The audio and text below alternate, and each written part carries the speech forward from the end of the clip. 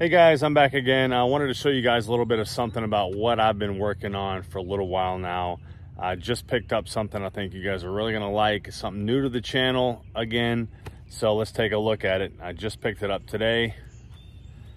That's right, it's a cargo trailer for the Jeep. No, I'm just kidding. There's a lot more to this than what it looks like. Let's flip the camera around. I'll show you guys what I'm talking about. Guys, so I do have the Jeep hooked up to the cargo trailer. Uh, this is something I just picked up. Um, it's a custom build and wanted to show you guys inside. As you can see, there's a window and a power port on the side there. And the reason why is because what we have here is a custom built camper for us for the uh, weekend trips away. So let's go in and take a look.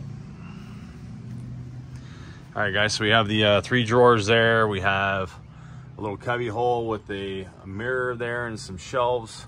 This is a mini split system, so it's uh, got heat and cool in there. Uh, this is a full-size bed and a twin bed, wood paneling, and you can see quite a bit of space here. So this trailer is a 6,000 pound capacity trailer, cargo camper, uh, but the tongue weight is about 300 pounds right now, and the, um, the trailer itself is uh, weighing in at roughly around 3,000 pounds with what's in it currently. Uh, so you can see here's quite a bit of room. Uh, this is the uh, running sink. There is uh, a power um, for uh, a pump for the water down here. So we've got the pump. We've got a clean water tank of 10 gallons and a gray water tank of 10 gallons right there. Uh, these cabinet doors are not soft close, but the drawers are. So if you look at the drawers and you close, they're soft close so they don't come flying open uh, whenever you guys, when we're driving around and camping. So we've got the custom backsplash, uh, the nice sink. We got the window, uh, plenty of storage in this camper. You see the storage up here into these open up this way so you can put things in them and then they automatically close so they won't be flying open whenever you're camping or whenever you're driving. Same with the pantry. So we got quite a bit of room in the pantry there. Uh, sliding doors, they won't come flying open. And then down here you have your fire extinguisher, a couple lamps, your electrical box is back into there. So I got a lot coming up for this camper. Um, some things that I want to do to it. Uh, we do not have heat, um, heated water. Uh, there's no water heater on this. There is no propane. And we do not have any kind of cooktop stove because there's no propane. And then also we do not have a refrigerator or anything like that um, to keep things cool. So I'm going to be working on doing a couple of those things on this camper to where it has a little bit more function and features. But basically, we just wanted to get the camper um, built together so that we can enjoy it. What you don't see here, and I'll put a picture up possibly, this table comes off. The back of the uh, bench folds out, and then we put this mattress pad, foam mattress pad, on the double bed side of what is now, uh, what was the table is now going to be a full-size bed when you flip that back over. Uh, so sleeps two people here, two people there, and a person up on the twin top bunk. But you can see there is a lot of room in this camper. A lot of room. It's all, um, you see the, uh, the, the air conditioning there.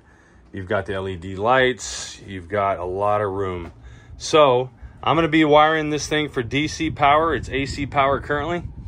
I am going to wire it for DC power with a couple of uh, deep cycle batteries as well as um, a mini fridge and I'm going to probably do some sort of microwave possible in there. But uh, I wanted to show you guys too the back end of this camper and how it folds down. So the back as well opens up just like this and it pulls down. It is spring loaded obviously. So the back end opens up like that and you have plenty of room back up inside of the camper this way. So what I'm thinking of doing is putting a screen, like a one car garage screen in there with the magnet down the middle so you can open it up and walk through. Makes it nice and airy, it opens it up, but then also you can uh, keep the bugs out and keep the screen closed. So uh, that's it guys. So that's something special for the channel that we're gonna be working on. I'm really happy with this build. I really like how it turned out. Uh, exactly what we needed. Needed to sleep five people, but also needed an RV camper that did not uh, have any problems being towed by the Jeep. So I'll show you a profile shot of this. Uh, it's quite large. Uh, the Jeep tows it fine though, no issues. Like I said, in its current state, it's 3,000 pounds and 300 tongue weight. You can see the Jeep does not have a weight distribution hitch on it just yet, but it's not squatting hardly at all either. Now I did take off the tire back there, uh, just bringing this home because there is a tongue jack on here that is a manual tongue jack and my spare tire is here kind of gets in the way a little bit of cranking that so I got to get an electric tongue jack to put on uh, wire that in to run off of DC with the seven pin charging the DC batteries but uh, there it is. So yeah, it's uh, something we're very, very excited about. And hopefully we have a lot of adventures in this camper. So there you go, guys. I'm sure you guys have a lot of questions. Uh, shoot me uh, comments down below. Like this video. Make sure you subscribe so you can see all of our adventures in our nice new camper. I think we're going to call it the Beehive. Uh, it's a little nickname for it. So, uh, yeah. Any questions, let me know.